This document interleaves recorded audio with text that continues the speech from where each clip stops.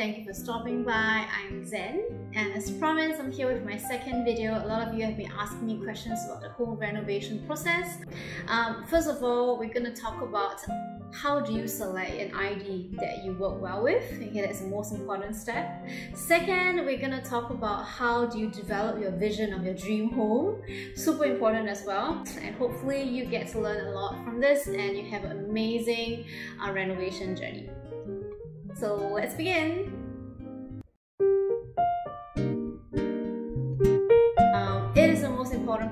Process because your ID is somebody that you have to work with for at least five to six months, uh, depending on the size of your project. I strongly encourage you to meet at least three IDs or more. Uh, I got tired after the third one. And the reason why you have to meet different IDs is because they all give you different perspectives and you can mishmash um, their ideas together with your final ID uh, to make a more beautiful home. For example, the idea to hack my bathroom actually came from another ID to extend the bathroom. Yeah, so um, yeah, you should meet at least three IDs. And I actually selected my ID um, well based on friends' recommendations as well as uh, going on a Qanvast event.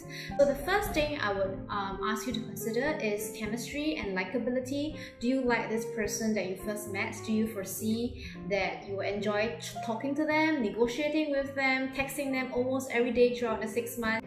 The second thing is really about picking someone who is a very good listener, uh, who is empathetic to your needs, and really understands and listens to you. And I was very clear I didn't want a HDB that looked like other HDBs. I wanted to be unique. Um, so good listener is very important, somebody who listens more than speak. The next one is really important for me. Um, I really wanted somebody who can provide 3D images of how the house might look like at the end of the day because um, this is what I can keep them accountable for. So if my house is supposed to look like this as represented in the 3D images, how the furniture, everything coordinates together, it gives me a better idea on how to decorate my house as well. I know if you work with certain contractors who are not IDs per se, they won't be able to provide you this service. Um, however, of course, you, you do pay a premium for this. Um, this was very important to me. My ID gave me a lot of 3D samples when I changed this and that, like the color of the walls, you know, with a certain Nippon paint or the color of the floor. Um, and that took some time, but it really ensured that um, you, you stick closely to the vision that you wanted. And the last thing is really for somebody who believes in your vision. Uh, for me, uh, my ID wanted to take part in a Qanvast contest with my uh, house. So he had, um, I think, uh, equal stakes in the house for it to turn out nicely.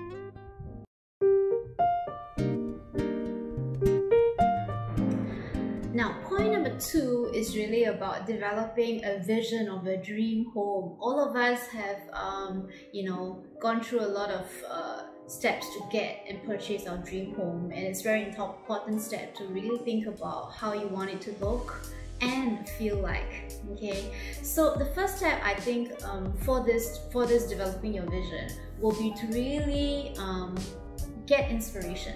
Yeah. So if you don't know where to start or what you like it's good to get inspiration. Um, where do you get your inspiration from? You can ask yourself where do you feel most comfortable uh, and cozy uh, and like a home okay? Uh, which places give you that feeling? So for me it will be definitely be stores like ikea okay? Uh, Hygge uh, Kikki.K uh, and home yoga where I go for my yoga place. I observe the colors that they use and the palettes that they um, use to create the kind of ambience that they have um, how that makes me feel okay? Um, the second thing is Pinterest. Pinterest have really nice designs. I really like the Scandinavian vibe uh, everything in lighter tones. So I also went to Pinterest and shortlisted a few of the pictures that has the palette that I really like that makes me feel um, comfortable and like a home home and like relaxed okay? Um, and the next channel is probably YouTube. Um, I, I watch a few home tours to decide what colors would suit me. Um, after you think about the look and feel, uh, you can think about your mood board. Okay, that would be the second second thing I would ask you to do. Create a mood board. What is a mood board? Uh, a mood board actually has pictures of places uh, that inspires you and you want your house to have that look and feel. Uh, when you look at the picture, you feel really happy um, and zen. and so creating the mood board really helps you to articulate that to your ID, uh, exactly what you want. Okay, instead of just talking about it, have pictures on it. In your mood board, I would suggest a few things. Um, have a base color that you want. Uh, and for me, my house, if you watch my previous video, um, if you haven't, please go watch it.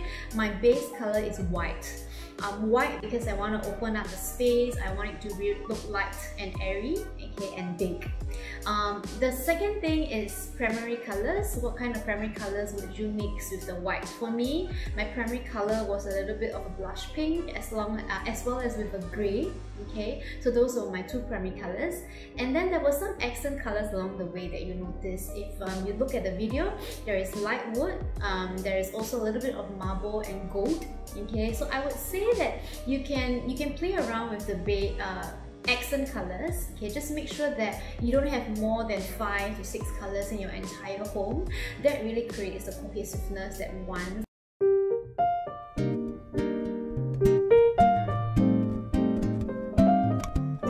five five points. Um, I hope that those five points really help you in your journey to visioning your dream home. Uh, not an easy journey, so keep it going. If you come across any challenges along the way, you need somebody to talk to or give recommendations, don't forget to comment down below um, and also click subscribe. Um, if you have any ideas on what you would like to see in our next video, let me know and um, give me a thumbs up.